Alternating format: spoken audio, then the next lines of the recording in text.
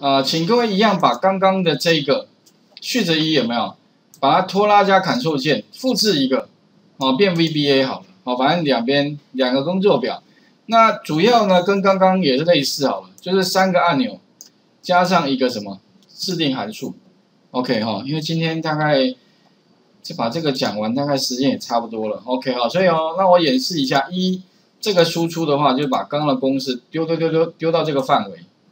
所以程式怎么写呢？哎，第一个插入一个模组，对不对哈？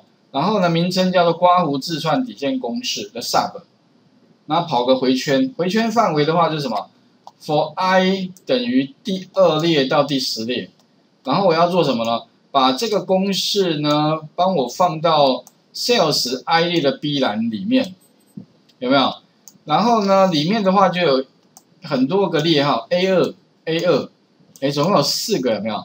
那这四个二的话呢，就把它改成 i，还记得吧？哈，就口诀嘛，对吧？蛮好记的吧？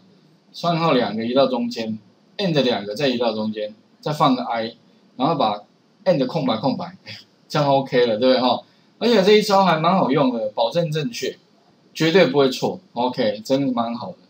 哦，所以我要想一些，你们可以想一些方法啊，就是让你。又快记，然后呢又不会写错程式的方法，就是好方法。OK，背口诀可以啦，反正这都就就这样嘛。那工作上面可以把事情啊正确解决，那都是好方法。OK，好啊，第一个、第二个清除应该没问题吧？就是把那个公式里面后面的那个变两个双引号就清除。那最后这个就是什么？直接输出里面的结果。哦，不过这边的话比较难一点点，因为哦，刚刚输出公式比较简单，直接丢过来输出，OK。但是这个地方呢，就要把它转变成用 VBA 里面的函数，像在 Excel 里面的话，哈，我们是用 find 函数，那 VBA 里面没有 find 函数，VBA 里面哈有另外一个函数，类似 find 函数，所以你要用那个函数取代 find 函数。哎，那该怎么做啊？待会呢，我们逐一来跟各位说明。啊，最后的话呢，还有一个就是插入那个制定函数，叫做刮胡自算函数啊。然后跟我要个资料，这个资料给他资料对不对哈？按确定，他给我最后的结果，有没有？哎，这个就制定函数了，所以蛮蛮方便的，有没有？这个有点像量身定做的，就否他的工作。OK，所以常常会有同学问说他他需要的函数哦，为什么在 Excel 里面找不到？那找不到，找不到就自己写吧，对哦。那这种机会应该会越来越大了哈。好，那首先的话，我们来看一下啊，第一个，呃，我要怎么样哈建立那个刮胡自串的公式，把这个丢出来哈。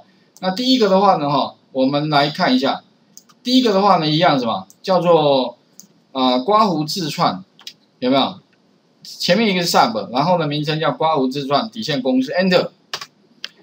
接下来的话呢，就是什么？for i 等于二，其实你可以看嘛，二到十有没有？这边可以有点像填空题，第二列到第十列，然后 enter 两下打一个 next，输出到哪里呢？输出到这个储存格。这个储存格以后的话哦，你就可以固定的写法了哈。什么写法？就是刮胡有没有？反正一定是 i 嘛。前面这个一定是 i 列，逗点后面一定是哪一列，输出到啊哪一栏，跟着一下哈，B 栏，这样不就 OK 了？等于你先打两个双引号，移到中间，放什么？放那个公式。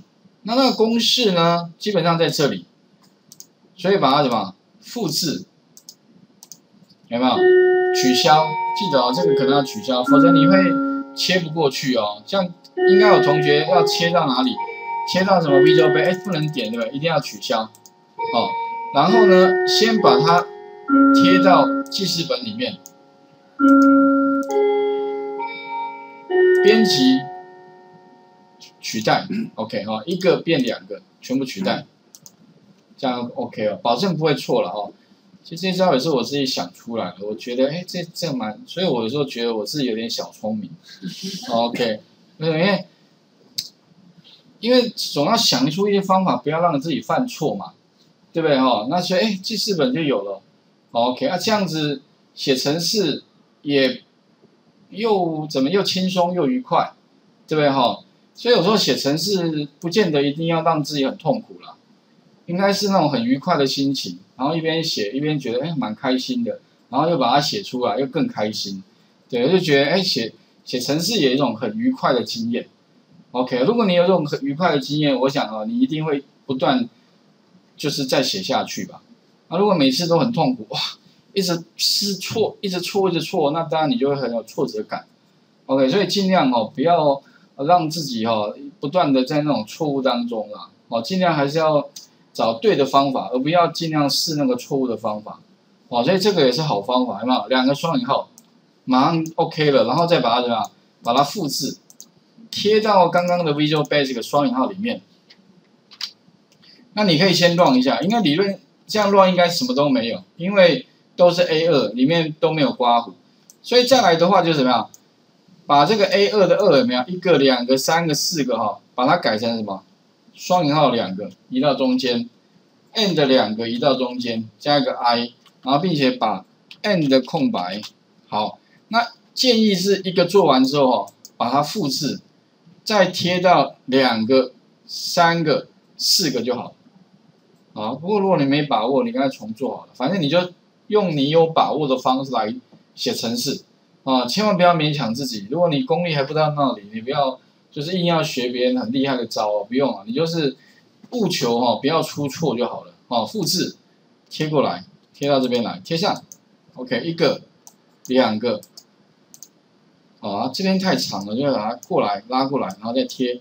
啊，如果说公式太冗长哦，你就找到一个什么一个 end 符号，这边后面 end 的空白加上一个底线，enter 就可以了。这样的话就可以两行，就一行哈，可以把它变两行。OK，好，好，这个 OK 了。然后清除的话，就是把上面这个复制贴过来，然后把这个名称改清楚。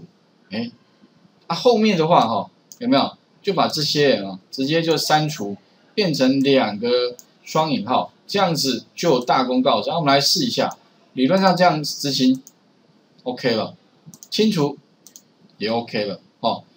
那当然，这个部分呢，主要是复习啦。你会发现哦，呃，直接输出公式这一招真的还蛮好用的。